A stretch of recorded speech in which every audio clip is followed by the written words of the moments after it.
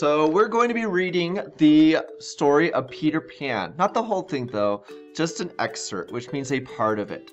And it's actually not Peter Pan, it's actually from a novel called Peter and Wendy, which is where Peter Pan actually comes from. Now, before we begin reading, I want to remind you guys, what is a key event?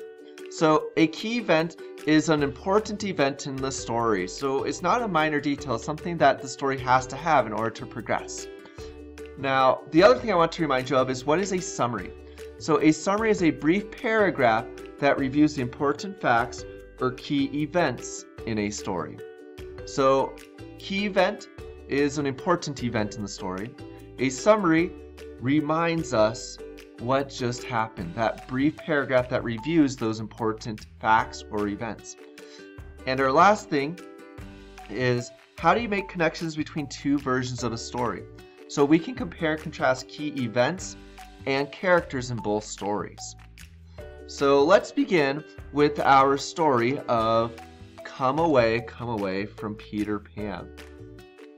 Remember, as we're reading, we're thinking, what are the key parts or the key events that happen in Peter Pan? Before we begin, though, we have this little introduction right here. Just give us some background information.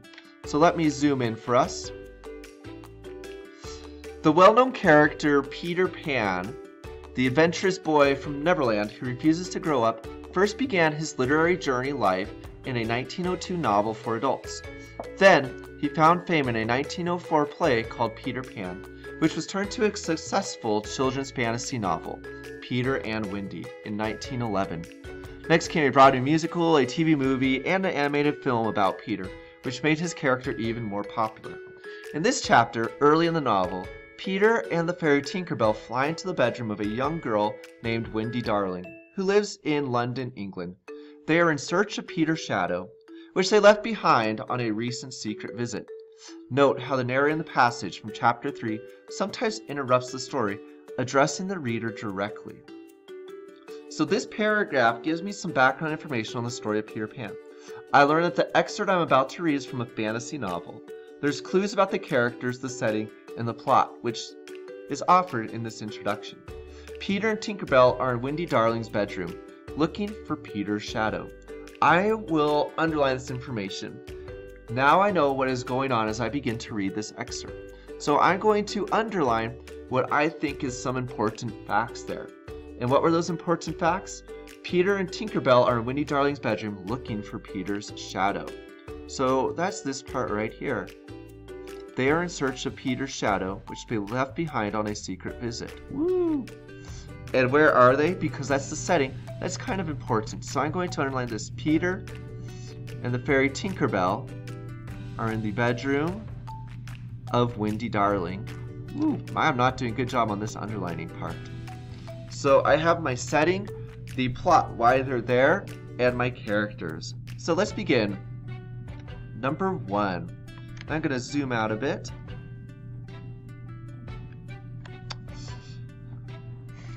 I, oh, whoops, there was another light in the room now, a thousand times brighter than the night lights. And in the time we have taken to say this, it had been in all the drawers in the nursery, looking for Peter's shadow, rummaged the wardrobe, and turned every pocket inside out. It was not really a light, as it made this light by flashing about so quickly. But when it came to rest for a second, you saw it was a fairy, no longer than your hand, but still growing. It was a girl called Tinkerbell, who was exquisitely gowned in a skeleton leaf. So, I'm not quite sure what a skeleton leaf is, so I may think about that as I go on and see if they give more description for Tinkerbell. Now, I am introduced to Tinkerbell in this paragraph. I learned that she is a fairy a thousand times brighter than the nightlights. This descriptive language helps me visualize the scene. Tinkerbell is looking around the nursery for Peter's shadow. This is the key event in this paragraph, so I'll put a number one next to it. Next to the line, it had been in all the drawers in the nursery, looking for Peter's shadow, rummaged the wardrobe, and turned every pocket inside out. So I'm going to put a number one, I'm going to type that in there. Where did it go? There we go. And so it shows up better for me. I'm going to just change that color to something that's really going to pop out. So I like, hmm, I guess I'm going to do red. And then I'm just going to drag it right here. So that's my first thing that's happened. So now let's go on and use a summary for this. So I can summarize what's happened on this page. True, it was only one paragraph, but I'm still going to put my summary in there. So I'm going to double click right here and my summary, what I'm going to put is what just happened. So Peter and Tinkerbell are in search of Peter's shadow, which they left in Wendy's Darling's room. Tinkerbell is flying around the room looking for it.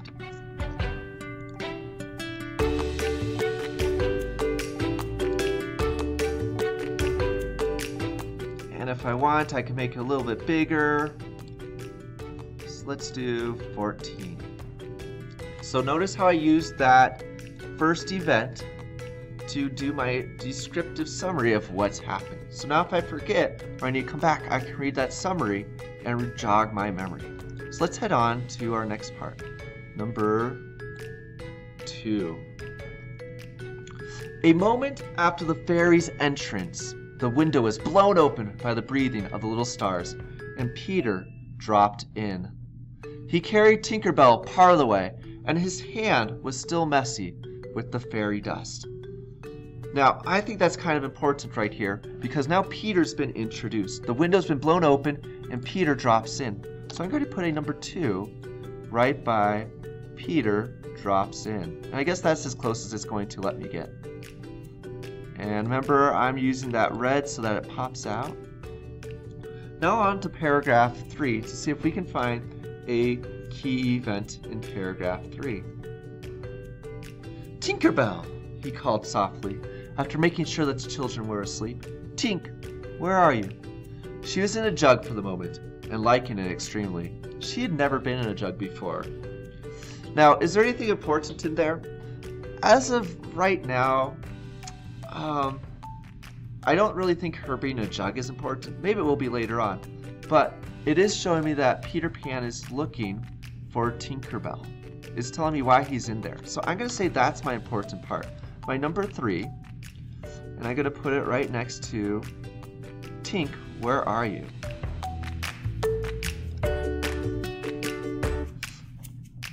Oh, do come out of that jug and tell me, do you know where they put my shadow? So here, we knew from this beginning part that they were looking for the shadow.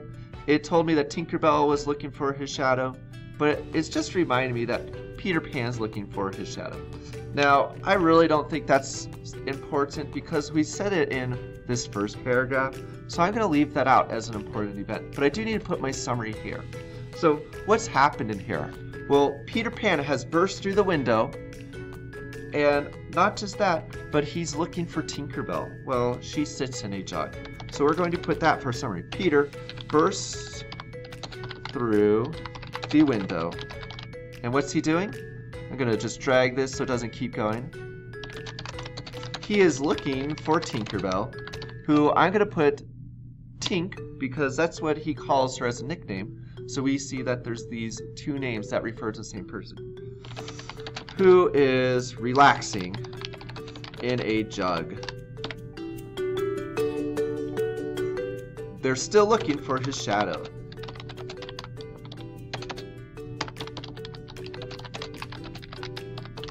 So now we're good to go on to our next chunk. So let's head on to this next paragraph section, five, six, seven.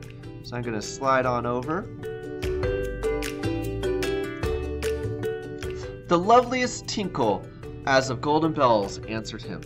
It is fairy language. You ordinary children can never hear it, but if you were to hear it, you would know that you had heard it once before.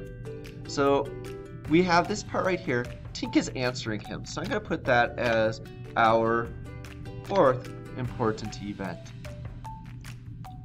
And it's describing really how Tinkerbell is talking, that fairy language. It's not like regular words, so we probably won't be hearing Tinkerbell talk during this story. Paragraph 6 now. Tink said that the shadow was in the big box. Oh, she found it. She meant the chest of drawers, and Peter jumped at the drawers, scattering their contents to the floor with both hands, as King tossed halfpence to the crowd. In a moment he had recovered his shadow, and in his delight he forgot that he had shut Tinker Bell up in the drawer. Uh-oh. So, we have this part right here. There's kind of a lot of important events here. So they have found his shadow. So I'm going to say that's number five. And Peter is grabbing his shadow. So he's recovered it. So that's going to be number six. They find his shadow, Tinkerbell tells him where it is, and then he recovers it. So I'm going to put that right next to, in a moment, he had recovered his shadow, and in his delight, he forgot that he had shut Tinkerbell in the drawer. Now, paragraph 7, and then we're going to do our summary. If he thought at all, and I don't believe he ever thought, it was that he and his shadow, when brought near each other, would join like drops of water. And when they did, he was not appalled. He tried to stick it on with soap from the bathroom, but that also failed. A shudder passed through Peter, and he sat on the floor and cried. So here we have this event where he's trying to get his shadow together, but it's not working. So I'm going to put number seven with, whoops, and I'm going to put it right next to, I'm moving the wrong one. There we go. Nope. Let me see. There we go. So I'm going to put it right next to how he's trying to attach his shadow. He tried to stick it on with soap from the bathroom, but that failed. We could also, if we want, we could say a shudder passed through him and he sat on the floor crying as the main event. But I'm going to put number 7 as because there's connected to that crying of him not getting his shadow attached. Now, we are going to summarize this page. So what do we have for a summary? Well, I have this for my summary. Peter finds his shadow, and I'm going to use my dictation function. Let me see if it'll let me do it while I'm on my Zoom. Yeah, and it doesn't look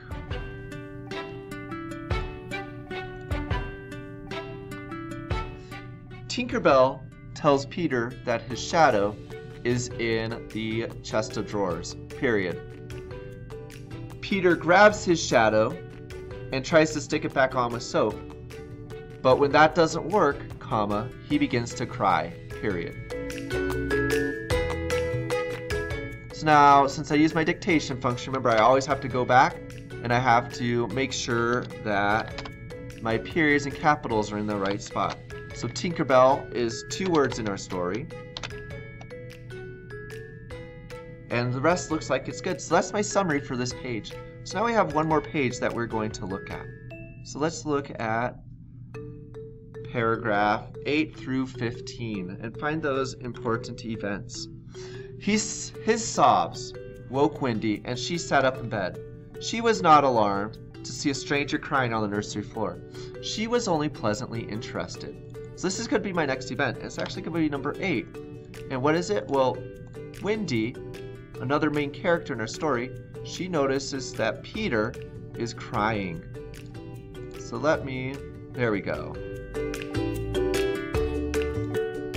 Boy, she said courteously, why are you crying? Peter could be exceedingly polite also, having learned the grand manner at fairy ceremonies, and he rose and bows to her beautifully.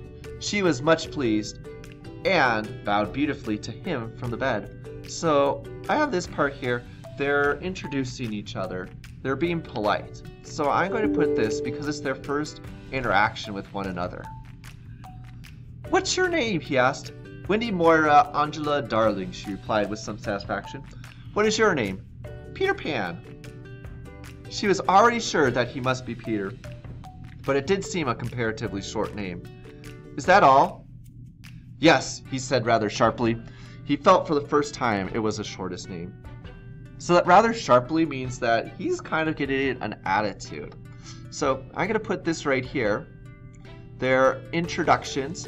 And this is going to be what I have as my 10th important event. They first introduced each other with their bowing, and now they're sharing their names with each other.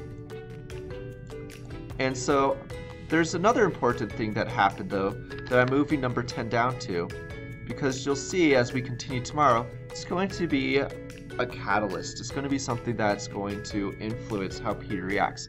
And it's when she kind of questions him about his name. He says, Is that all? So she's questioning, saying, Is there anything else with your name? Is it a little longer? So I have my events here 8, 9, and 10. So that's going to be my summary that I'll write now. Peter's crying wakes up Wendy, period.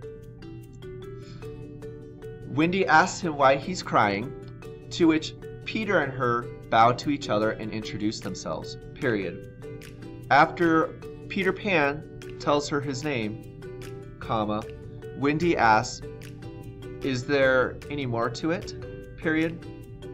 Peter gets a little frustrated. Period.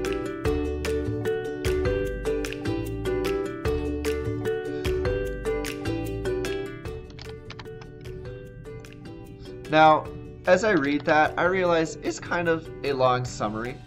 So if I want, I could go back and I could take some things out. But I'm going to leave it for now because we're going to revisit this summary tomorrow. We're going to review all of these summaries and we're going to continue our story. So good luck today, guys. And what I want you to do is you are going to answer some questions below in your guys's OneNote notebook. I'll talk to you guys later.